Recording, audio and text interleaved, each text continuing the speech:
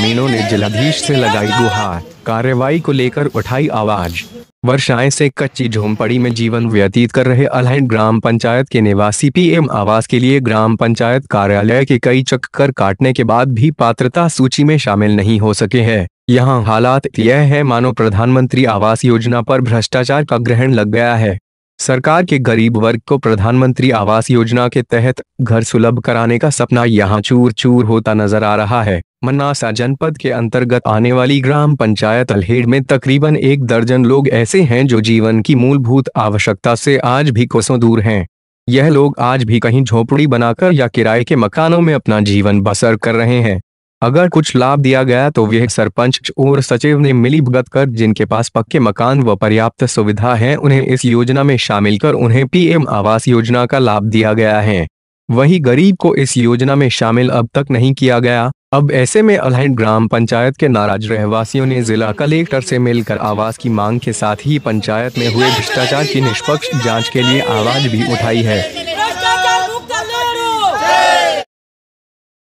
अटे कितना साल दी रही रहा आप पचास साल बीत गया बका साहब मैंने तो पन्या केड़े मुँह तो पन्नी ने छोटी लाया था मैंने अटे कैसा मकान में रहा?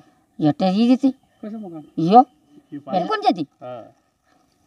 आप सरपंच के अटे या तो सरपंच का ये आपने कहीं घर वर देख नहीं थे पीएम आवास योजना में? यो क्यों? के अबे आवे जदी आगे। हम्म। मुझे कर रहा माँ के कई योजना मारती बेचने आयो। आप यूँ की आपने। हाँ। माली समाज में ने सबके आए साहब। न मारे नहीं आया पैसा वाला क्या आया। पैसा न मार पा पैसा को नहीं तो मुँह कही दूँ। हम्म। मक्का नहीं जा न मारे तो नजी स्थिति तो खराब भी जे। मु तो मारे पाकू नहीं वे काम मारे दान की नहीं वे अना ई मारे मांदी भी जो तो ये मारे इलाज करावे। हाथ में दे दिए जिनके पक्का मकान था उसके भी दे दिए। और हमारे गरीब लोगों के जो है कच्चा मकान उनको आज दिन तक नहीं दिए। जहाँ नाला बनना चाहिए था, वहाँ नाला नहीं बना और सरपंच की निजी ज़मीन में जो नाला बनाया, उसके मकान उसके नाला के ऊपर खड़ा कर दिया और गाँव में कोई विकास नहीं कर कलेक्टर कार्यालय आए हम हम न्याय मांगने के लिए आए हैं।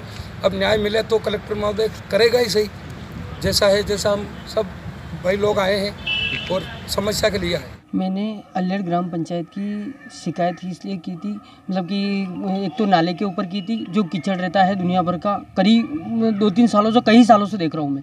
और एक शिकायत मैंने खनन नीच के विषय में की थी, और एक मैंने सरपंच साहब की जो मेन नाला है खाकर बाबूजी वाला, उसमें उन्होंने क्या है कि पक्षपात वाला मैटर रखा और उनका खुद का नाला बनाया, जबकि जहाँ बनाने की ज़रूरत थी, वहाँ नहीं बनाया और खुद की भूमि पर बनाया, उन्होंने बाउंड्री बनाई। एक उस विषय पे। और एक आवास का जो प्रधानमंत्री आवास की योजना में जो हितग्राही हैं, उनको लाभ नहीं दिया जा रहा है और जिनके पूर्व में मकान बने हुए हैं, जिनके ट्रैक्टर हैं, जिनके मतलब सब सर्व सुख सुविधा से पूर्ण है, उन्हीं को सुविधा का लाभ दिया जा रहा है।